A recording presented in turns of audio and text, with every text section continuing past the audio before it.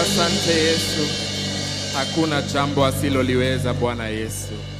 Amen. Bwana Yesu asifiwe. Naomba kama umesimama unaweza ukaketi. Asante kikundi cha sifa. Bwana wabariki na watende mambo mema.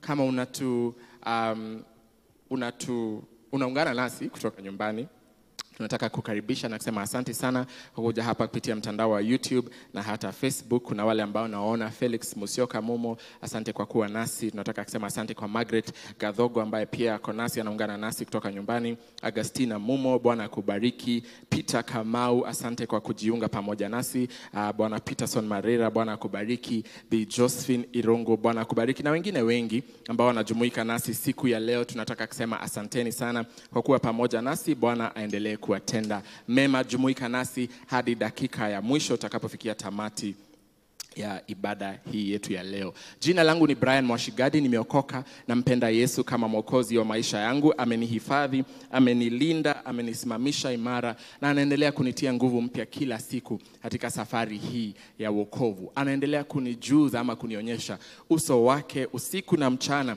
Kwa kweli nina imani uh, ya kwamba hakuna mwingine aliye kama Bwana wetu Yesu Kristo. Na kusalimu kutoka pale uh, wewe ulipo na natumai ya kwamba unaendelea kuwa um, buheri wa afya na kwamba Bwana anakulinda, anakuongoza, anakuhifadhi, anakutia nguvu mpya kila siku katika jina la Yesu Kristo. Siku ya leo tungependa kushirikiana ama ningependa tuweze kushiriki neno lake Mungu kwa kifupi tu uh, kuhusu mada ambayo tumetoka tu kukiri kupitia nyimbo ama wimbo ambao tulioimba uh, na mada yangu ama mambo, mada ambayo nafanya kazi nayo leo ni Mungu anaweza.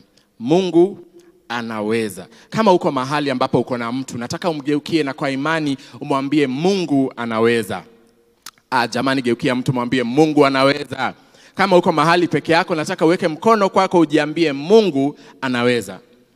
Wacha nikwambie um, rafiki zangu wapendwa ambao tunajumuika nasi siku ya leo, ni jambo la, um, la kustaajabisha ukifikiria ya kwamba uh, akili ama mawazo ya binadamu ni, ma, ni, ni jambo la nguvu sana, kwa sababu ukitia jambo ndani ya mawazo yako yanaweza yakakufanya aidha usonge mbele ama yanaweza yakakurudisha nyuma, hiyo kwa njia zote, kwa njia za Kikristo, njia za kiungu, katika uh, mambo ya kiuchumi, hata katika afya yako. Ukiitia jambo katika mawazo yako na uyafikirie usiku na mchana, mambo hayo ama jambo hilo linaweza lika, yani, li, linaweza ku, kuku, uh, kukuadhiri kwa njia moja au nyingine.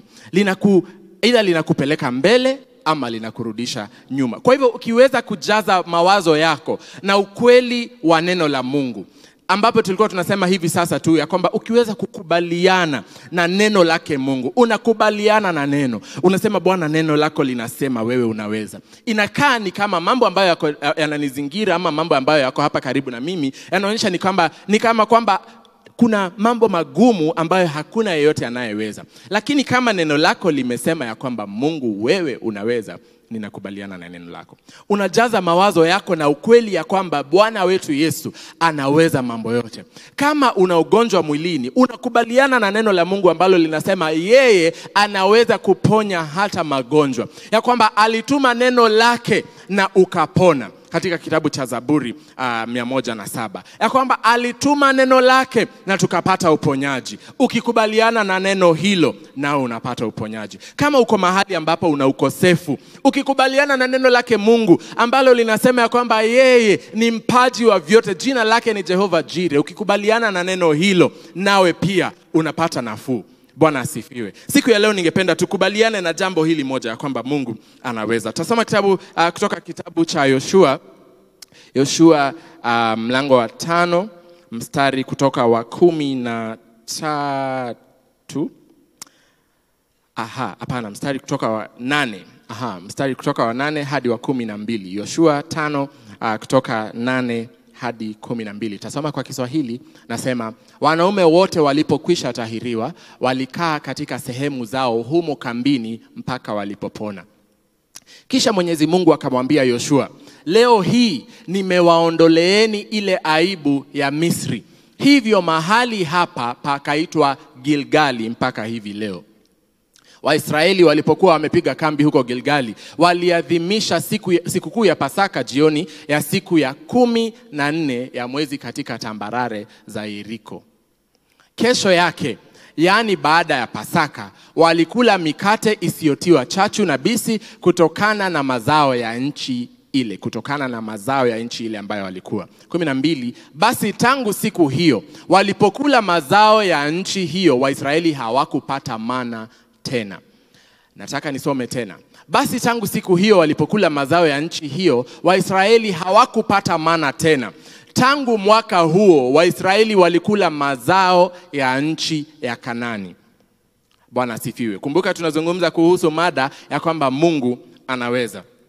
Unapojaribu kufikiria kwamba Mungu ni muweza, ni vizuri ujari, uh, tuki, tukisoma hapa ambapo tumetoka kusoma, ni vizuri uweze kujikumbusha ya kwamba ni kweli Biblia imejawa Mungu anayeweza. Jambo ambalo halibadiliki ni kwamba Mungu anaweza, lakini ukumbuke ya kwamba mbinu ambazo anatumia Mungu kuwafikia watu wake ni mbinu tofauti.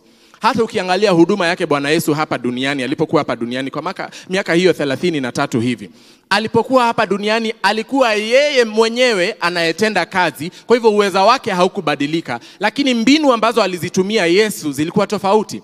Inaashiria kwamba um, sio mbinu ambazo tunazitarajia, tunazotarajia ama tunazotazamia ni Mungu wetu peke yake ya kwamba imani yetu haiko kwenye mbinu ambazo anazitumia Mungu. Imani yetu iko kwenye Mungu mwenyewe anayetumia mbinu tofauti tofauti. Kwa sababu shida ya kuangalia mbinu ni hii, utaangalia mbinu tofauti, na unapoangalia mbinu utapata, utaweka imani yako kwenye mbinu, na mbinu zitakapobadilika, basi wewe utabaki ukiwa mtu ambaye umeduaa, umeshangaa, umechanganyikiwa, yani unabaki hivi unashindwa mbona mbona Bwana Bwana Yesu hanishughulikii? Mbona hanitendei kwa njia moja au nyingine? Si kwamba hatendi, ni kwa maana ametenda kutumia mbinu tofauti, kwa sababu imani yetu, na hilo ndio labda kama unaandika uh, pointi kadhaa, labda ya kwanza utasema imani yetu haipo kwenye mbinu, bali kwenye Mungu anayetumia mbinu tofauti. Imani yetu iko kwa Mungu peke yake, sio mbinu. Nataka ufikirie tangu siku ambayo wewe umezaliwa na ukamjua Mungu, tangu siku hiyo uliweza kuelewa ya kwamba Mungu ndiye mwenye kutenda kazi mbalimbali mbali. Ukifikiria uone mara nyingi ambazo wewe umekuwa mgonjwa, tutafute tuangalie kwamba kuugua labda hivi mwilini. Siku moja ukaumwa na kichwa ukiwa mtoto, wakakupa maji ukapona, maji tu Siku nyingine ukaumwa na kichwa ukapewa maji lita kama tano, bado kichwa hakiachi kuuma, ukaambiwa nenda hospitalini, chukua Panadol. Ukaenda ukakunywa Panadol ukapona. Siku nyingine uliumwa na kichwa, wewe ukasema nitafanyisha, nitatendesha imani yangu kazi, ukawekelea mikono yako kwenye kichwa chako, ukasema natangaza kwa sababu ya kazi ya Kristo iliyomalizikia pale msalabani, mimi nimepona, na ukapona, kichwa kikaacha kuuma. Mara zote hizo tatu, kwa mfano, sio ya kwamba ati si Mungu alikuwa anatenda kazi, ila ni Bwana alitenda kazi, lakini alitumia mbinu tofauti. Wakati ulipokuwa mchanga hukuweza kufikiria ama haukuwa, uliweza kufikiria, lakini huko unaelewa mambo vizuri, ungeweza kujitendea mambo, kwa sababu kuna wale ambao walikuwa wamepewa ile fursa ama walikuwa wamepewa jukumu la, kuku, la kukutunza wewe, wazazi wako ama wale watu ambao walikuwa hapo karibu na wewe, wale ambao waliku walikulea. Watu hao Bwana akawanenea, akawaambia mtoto huwa anapewa maji, hanyweshwi dawa. Haya, nao wakakuja, lakini unajiuliza hekima hiyo ilitokana na wapi? Si Mungu, ilitoka kwake Mungu. Biblia inasema katika kitabu cha medhali um, mlango wa pili mstari wa sita ya kwamba ni Mungu ambaye anapeana hekima na kutoka kinywa chake tunapata um, ufahamu ama kwa Kiingereza tunasema for the Lord gives wisdom and from his mouth comes knowledge and understanding. Ni kinywa chake Mungu ambalo linanena ufahamu, lakini kutoka kwake Mungu ndiyo hekima inatoka. Kwa hivyo hiyo hekima ya wale ambao wamekulea wanapata hekima ati wakupe maji siku ya leo kwa sababu unaumwa na kichwa unalia sana, hiyo hekima inatoka kwake Mungu. Kwa hivyo ni Mungu amekuponya. Mara ya pili ukaenda hospitalini ama ukaenda kwenye chemist wakakupatia Panadol, hiyo hekima ya madaktari imetoka wapi? Ila kwake ila kwake Mungu. Hekima hiyo ambayo inatoka kwake Mungu, um, hekima hiyo ambayo wanao hao madaktari ama wale wenye chemist ama wauguzi tofauti inatoka kwake Mungu. Ni Mungu mwenyewe ambaye amewapatia hekima wale watu ambao wanafanya kazi tofauti, wanaenda wanafanya Uh, utafiti mbalimbali mbali, wanapata dawa kama ambao wamepata vaccine hii ambayo ni ya, ya janga hili la korona. Watu hao wamepewa hekima kutoka kwa Mungu, kwa sababu kama Biblia imesema katika medhali mbili na sita ya kwamba ni Mungu ambaye anapeana hekima. Ina maana kuwa hekima haipatikani pengine popote. Kwa hivyo hata tukubali au tukatae, hata dunia nzima ipinge, waseme hapana, hii ni sayansi, wanasayansi wanapata hekima yao toka wapi? Toka kwa Mungu, kwa sababu kutoka kitabu cha Mwanzo tunajua ya kwamba Mungu ndiye chanzo cha yote mema. Biblia inasema katika kitabu cha Yakobo, James chapter 1 mstari um, wa um, ni kumi na mbili ama si kumi na mbili? Nitaangalia, lakini Biblia inasema ya kwamba uh, zawadi ama jambo lote um, every good gift wacha niseme kwa kiingereza every good gift and every perfect endowment comes from the father above in whom there is no variation or shadow of turning. Ina maana kuwa ya kwamba mambo yote ambayo tunapatiwa zawadi karama zote ambazo tunapewa zinatoka kwake mungu ambaye habadiliki hata kamwe. Kwa hivyo hata watu wajaribu kusema tukubali, tupinge, tukubaliane nalo, tukatae kukubaliana nalo, hekima yote, mambo yote mazuri yanatokana kwake Mungu. Kwa hivyo hiyo ilikuwa mara ya pili, umeenda da, kwenye, kwa, kwake daktari ama kwenye chemist akakupa Panadol lakini bado ukapata uponyaji. Uponyaji au kutoka kwenye dawa ulitoka kwake Mungu ambaye ni chanzo cha hekima ambayo aliwapatia wanaotengeneza tembe hizi.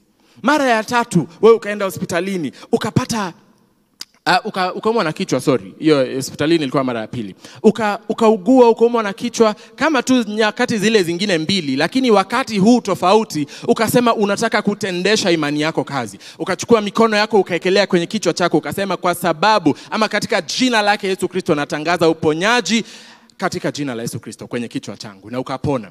Mara hii pia nani alikuponya? Ni Mungu. Biblia inasema yeye ndiye anayetenda kazi ndani yetu ndani yetu ni yeye Bwana anayetenda kazi. Kwa hivyo hekima hii ambayo umepata, ili ukaweza kupata ama ufunuo ambao umepata ya kwamba wewe mwenyewe hata bila kumwendea mchungaji unaweza ukachukua mikono yako na kutangaza ya kwamba Bwana atatenda jambo na analitenda juu ya boma lako, juu ya nchi yako, juu ya nyumba yako, juu ya moyo wako ama mwili wako. Hekima hii inatokana naye naye Mungu. Najaribu kusema nini? Ni ile pointi ya kwanza ambayo tulisema ya kwamba imani yetu haipo kwenye mbinu, ipo kwenye Mungu anayetumia mbinu tofauti. Haleluya! Iwe ni uh, siku ya kwanza, nataka pia uangalie, labda ulienda shule mara ya kwanza ukafukuziwa shule ukiwa uh, pale shule ya chekechea ambayo shule haikuwa uh, uh, masomo ama, ama um, pesa haikuwa nyingi sana ambayo ulikuwa unalipa ya shule. Ukiwa hapo ukafukuzwa, wazazi wako wakafanya nini? Wazazi wako wakakuja wakaongea na mwalimu, ukaruhusiwa urudi darasani usome, kwa sababu hela hazikuwa nyingi sana. Lakini ukaingia tena shule ya sekondari. Sekondari pesa zilikuwa nyingi kidogo. Hapo hata wakikuja kuongea na mwalimu hawawezi, kwa sababu mwalimu anawaambia hapana, sasa hapana uwezekano. Ukaenda, Mungu akakupatia mfadhili, mfadhili akakuja akakulipia, wewe ukaenda ukaingia shuleni alafu ukaingia chuo kikuu. Chuo kikuu sasa hata wazazi hawawezi wakafika kule kwenye ofisi kujine, kuj, ile tunasema kwa lugha ya mtaani kujiongelelea. Hawangeweza kwenda kujiongelelea angeweza kwenda kujiongelelea ama kujisema kwenye uh, wale watu huko kwenye administration. Lakini wakati huo Mungu naye akakupatia hekima tofauti. Wewe ukaenda ukachukua unga, ukaanza kukanda chapati na mandazi, ukauza kwenye huko kwenye mabweni huko kwa madomu huko kwa watu, ukapata pesa, ukachangachanga, ukaweza kujilipia school fees. Nataka ujiulize, mbinu zilikuwa tofauti, lakini jambo lilikuwa lile moja tu, ukosefu wa hela za kusoma shuleni. Lakini kila mara Bwana alitumia mbinu tofauti kuweza kuhakikisha ya kwamba masomo uliyoyataka wewe umeyapata. Mbinu zilibadilika, lakini aliyetenda jambo hilo hakubadilika, alibaki kuwa Mungu. Niseme na niseme tena, kwa sababu hatuna pointi nyingi. La kwanza ilikuwa ya kwamba imani yetu haipo kwenye mbinu, ipo kwenye Mungu anayeweza mambo yote. Unamtazamia yeye. Biblia inatu, inatukumbusha ya kwamba sisi tunamtazamia yeye aliye mwanzilishi wa imani yetu. Yeye ndiye atakaileta pia kufikia tamati. Yeye ndio anayeifanya inang'aang'aa, anaitia nguvu, anatutia nguvu imani ndani yetu, tunaweza kusonga mbele kila siku. Biblia inatuambia pia kama Paulo anavyosema, asifiwe Bwana wetu Yesu anayetutoa kutoka kiwango kimoja cha utukufu hadi kingine. Ni Mungu anayetenda kazi ndani yetu. Hata ukisahau mambo yote ambayo tutasema siku ya leo, jamani, usisahau jambo ya kwamba imani yetu haipo kwenye mbinu, iko kwenye Mungu, kwa sababu ukifikiria mbinu, jamani, tangu siku ulipozaliwa, mbinu alizozitumia Mungu ni tofauti. Ndio maana kuna watu ambao walikuwa wanapata shida kuu siku za ambazo Yesu alikuwa anatembea akifanya huduma yake hapa duniani, walipata shida kuu kwa sababu siku moja alikuwa anampata kipofu, anamwambia umeponywa kwa sababu ya imani yako, lakini siku ingine anapatana na mwingine anatema mate, anatengeneza anatengeneza matope. Kwenye udongo, anatengeneza matope anampaka kwenye macho yake, anamwambia enda ukajioshe. Akienda kuoga, akimaliza ameshapofuka. Mbinu zilikuwa tofauti, na watu walikuwa na shida, kwa sababu watu wa hizo nyakati wengi, hawa Wafarisayo na wengine walimu, walikuwa na shida gani? Walikuwa wanafikiria ah, mbona hatumii mbinu moja? Kwa sababu imani yao ilikuwa kwenye mbinu. Lakini imani yetu wa siku ya leo ni kukumbushe, haipo kwenye mbinu, iko kwenye Mungu. Tukikuja katika uh, habari hii ambayo tumeisoma ni vema tukumbuke hivi ya kwamba um, just uh, before kabla tufike mahali ambapo tumesoma um, wana wa Israeli sasa wamefu, wamevuka Yordani, wameshaingia uh, Kanani. Hapa ndiyo safari ambayo ilianza kule um, kitabu cha Kutoka, Exodus wameanza safari yao, wamepita, tumekuja, wame, wamekaa kwenye, um, kwenye jangwa miaka mingi, karibu arobaini. Sasa Yoshua ndiye anayewaongoza, wamekuja, wamefika sasa kuvuka Yordani. Kizazi cha kwanza kilikuwa kimeshamaliza kutahiriwa kule ambapo waliweka agano naye Mungu, alafu sasa cha pili ndio hii Bwana anam, anamnenea. Biblia inasema katika um, mlango wa tano unapo, unapo unapoanza sasa, Bwana anamnenea, anamwambia sasa mnahitaji kufanya hili jambo ili um, ama mtahiri hawa watu ili kizazi hiki nacho pia kiwe kimeingia kwenye sorry, kimeingia kwenye agano na mimi ambaye ni Mungu wenyu. Kwa hivyo Joshua anakuja, wameshavuka Yordani. Hata wanapovuka Yordani, nataka nikukumbushe ya kwamba haiku, haikuwa kama walivyovuka um, bahari la Shamu, haikuwa kama hivyo, lakini Mungu yule yule ambaye aliwavukisha wale wa kitambo, ambaye aliwavukisha uh, bahari la Shamu, hivi sasa ndiyo bado anawavukisha Yordani. Mbinu anazozitumia pia ni tofauti. Unaweza ukapata hiyo ukisoma katika um, mlango wa tatu wa Yoshua ambapo anaenda kuvuka Yordani. Mbinu ni tofauti, lakini Mungu ni yule yule. Halafu wanakuja sasa wakati wa pili. Mara nyingi tunaposoma uh, habari zao kutoka mahali ambapo uh, tukisoma kitabu cha Kutoka, wanapotoka pale Misri, wanafuatwa na wana wa Israeli, wanafuatwa na uh, jeshi la yule Farao na watu wa Misri, wanawafuata, wanawaletea vita. Kwa hivyo hawa wana wa Israeli wamezoea kupigana, wameingia kwenye vita mara nyingi, lakini wakati huu Bwana ame, amekuja ameagiza la kwamba lazima wote wanaume wote watahiriwe. Hawa wanaume ndio walikuwa wanashikana vitani, hao ndio walikuwa wanafanya kazi ya vita. Sawa sawa, lakini sasa mara nyingine Bwana anawaweka anawafanya wanakuwa salama hata wakiwa mahali hapo, lakini hawapo salama kwa sababu ya vita ambavyo wanapigana. Aliyewaweka uh, salama kupitia njia ya vita, sasa anawaweka salama hata wakiwa, kwa Kiingereza neno ni incapacitated, hawawezi wakajikinga kwa sababu wanapona, wamemaliza kutahiriwa wote ambao tulisoma, ambapo tulisoma mstari wa nane. Sasa wanapumzika, wanapona, lakini Bwana anahakikisha ya kwamba hapana adui ambaye atakaribia. Mbinu ni tofauti za kuwalinda, lakini Bwana ni yule yule tu ambaye ni Mungu muweza. Alafu mara ya mwisho sasa, hapa tunapomalizia, inasema ya kwamba walipokuwa hapo wakipona, ya kwamba uh, mstari wa kumi na moja uh, kama uh, tunaweza tukasoma mstari wa, um, wa kumi na moja wa Yoshua tano anasema ya kwamba mahali a, a, kesho yake baada ya Pasaka walikula mikate isiyotiwa chachu na bisi kutokana na mazao ya nchi ile.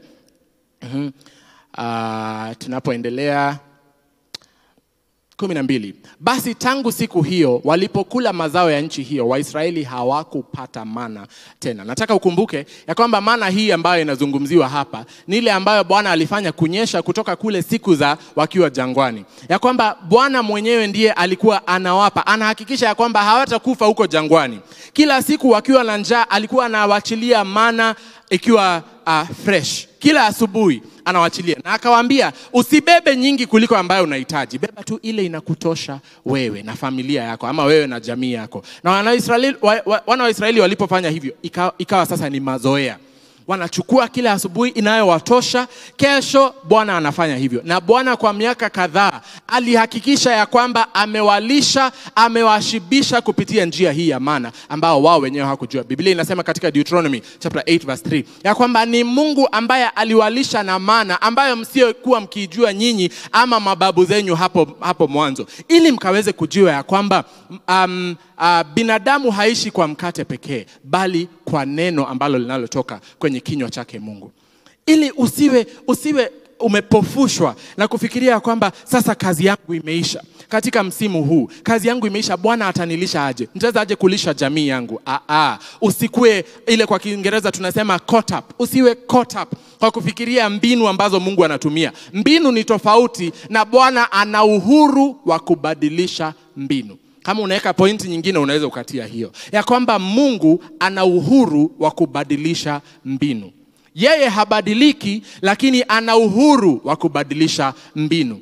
Unapojikumbusha ya kwamba imani yangu haipo kwenye mbinu anazozitumia Mungu, imani yangu iko kwa Mungu pekee, unajitia nguvu, unasema Bwana ana uhuru. Unamwambia Bwana leo, kama alipompata yule nabii Eliya, alipompata kule ana, siku ya kwanza anatuma yule anatuma yuaitwa nani? Ana, ana, kabla amtume kwenye yule um, natafuta jina mjane, ndio jina ninalotafuta, mama mjane yule wa kutoka uh, zarefath Kabla ya mtume hapo, anahakikisha ya kwamba ametuma ndege wanaitwa kunguru, anatuma kunguru anayeleta nyama na mkate anamletea anamshibisha, na anapopata kiu anaenda pale katika kijito kili- kilichokuwa kinaitwa Cherith, anaenda anakunywa maji kutoka hapo, anakata kiu yake, siku na nyingine na nyingine na nyingine na nyingine. Lakini kijito kilipokauka, Bwana sasa akatayarisha yule mama mjane, akamtuma. Mbinu zake zilibadilika, lakini yeye hakubadilika.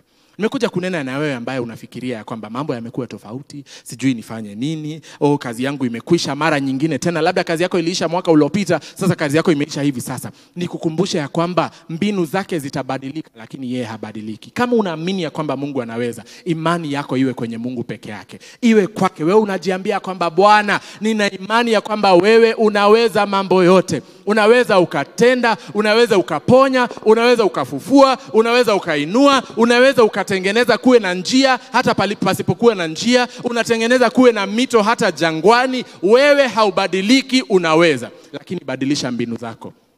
Unamwambia Bwana, siku ya leo ninaamini. Ukiamka kila siku unasema Bwana, naamini ya kwamba leo unaweza ukanitumia kunguru, unaweza ukanitumia mtu aniletee mkate, kesho unaweza ukanitumia ukanituma kwenye, kwa mjane, siku ingine unaweza ukanifanya nikae kwenye ofisi nifanye kazi mwaka mmoja ama miaka miwili, nipate mshahara niweze kulisha familia yangu ama jamii yangu. Siku ingine unaweza ukanifanya nikae nyumbani, wananiletea tu, lakini unahakikisha ya kwamba sauti uliyoisikia ni sauti ya Mungu. Unasikiaje sauti ya Mungu? Unasoma neno lake, unakubaliana na neno lake, na unachukua muda mzuri kwenye maombi, kwa sababu ukiwa kwenye maombi unasikia sauti yake Mungu, unaamini ya kwamba Bwana hashindwi. Unajua, unaposoma Biblia unapata um, mambo tofauti ambayo yanakukumbusha unapata um, uh, many examples ambazo zinakumbusha ya kwamba Mungu anaweza anaweza anaweza. Unaona alivyomfanyia Daudi, alivyomfanyia Petero, alivyomfanyia Paulo. Mungu anaweza.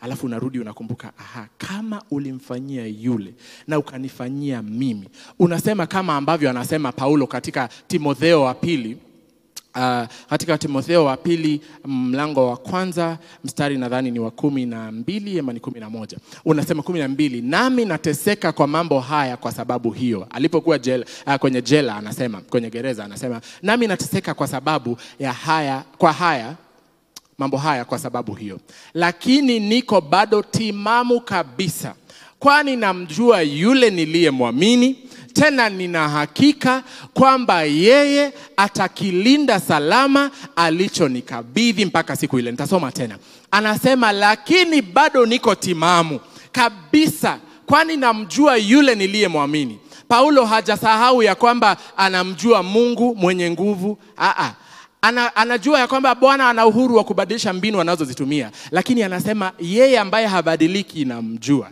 na nimemwamini. Mbinu zinaweza zikabadilika nyingi, akabadilisha, labda umetupa kazi, labda watu wako hawako pamoja tena, lakini unajua Bwana, ninajua ya kwamba wewe niliyekuamini bado uko sawa, kwa hivyo mimi nipo timamu tena nina hakika kwamba wewe utakilinda salama ulichonikabidhi utakilinda na ku... kama umenipatia jamii, umenipatia mme, umenipatia mke, umenipatia watoto, wewe utalinda salama wewe ulichonikabidhi. Kama umenipatia ile hamu ya kusoma ya kwenda shuleni, labda sina karo ya shuleni, lakini nakujua wewe niliyekuamini, najua utalinda salama hamu ambayo wewe umenikabidhi. Labda umenipatia biashara na inakaa ni kama inaanguka kwa sababu ya maneno ambayo yanatendeka na janga hili lote, lakini ninajua wewe niliyekuamini na nina hakika ya kwamba wewe utakilinda cha, salama ulicho ni kabidhi Imani yetu iko kwa Mungu na Mungu wetu anaweza mambo yote.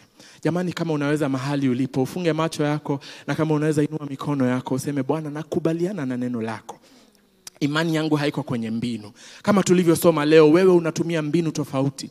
Siku ya kwanza unawalisha Waisraeli kutumia mana kwa miaka mingi, halafu wewe unarudi unabadilisha njia hiyo ama mfumo huo, unaleta mfumo mwingine uh, mwingine mpya, unakuja unaleta njia nyingine mpya. Sasa unawapatia mazao kutoka shambani, ya kwamba wewe mbinu zako zinabadilika, lakini maji ni wewe tu. Siku moja unaponya kutumia mbinu hii, siku nyingine unatumia njia nyingine, lakini bado ni wewe tu. Mbinu zako wewe una uhuru wa kubadilisha, lakini wewe niliye niliyekuamini ninakujua, imani yangu iko kwako. Hivyo tunasema leo kama Paulo, niko timamu, tuko timamu. Sisi tunasimama, tunajitia nguvu na kusema tunamjua yule tuliyemwamini, na tuna hakika kwamba atafanikisha yote aliyokabidhi mikononi mwetu. Imani yetu iko kwako. Imani yetu iko kwako pekee, mwana wa Mungu unayeweza mambo yote. Wewe umeshinda kifo hata mauti. Jamani, ni jambo lipi usiloliweza? Unamuuliza hivyo Sarai na Ibrahimu, unawauliza ni jambo lipi gumu kwangu? Siku ya leo tunakubaliana na neno lako na kusema Bwana, mbinu zako zinaweza to, kuwa tofauti, lakini wewe haubadiliki. Tuwezeshe na ututie nguvu mpya wiki hii, ya kwamba popote ambacho, ambapo, ambapo tutaki, tutajipata tuweze tukakumbuka ya kwamba wewe unaweza mambo yote, una nguvu, una uweza, una mamlaka una uhuru na utakavyotumia mambo haya yote tunakuachia wewe. Ile ambayo tunajua ni kwamba tunamjua yule ambaye tumemwamini, na tunayemwamini ni Mungu anayeweza yote. Tunakushukuru kwa sababu wewe ni mweza na hakuna jambo lililogumu kwako. Inua imani yetu na utujenge leo na hata milele, kwa jina la Yesu Kristo tumeomba na hata kuamini. Amen. Bwana akubariki na akutie nguvu mpya wewe mtazamaji, katika jina la Yesu Kristo kila siku, na akukumbushe ya kwamba yeye anaweza mambo yote. Amen.